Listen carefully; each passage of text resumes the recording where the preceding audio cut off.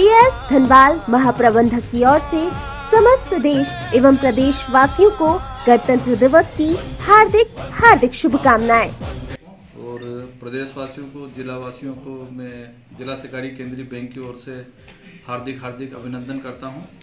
मैं इस अवसर पर समस्त किसान बंधुओं से अनुरोध करता हूँ कि वो मध्य प्रदेश शासन की जय किसान ऋण मुक्ति योजना अंतर्गत अपने आवेदन पत्र ग्राम पंचायतों में जमा करें एवं अपने बैंक खाते आधार से लिंक कराएँ और इसका लाभ पाएँ। धन्यवाद।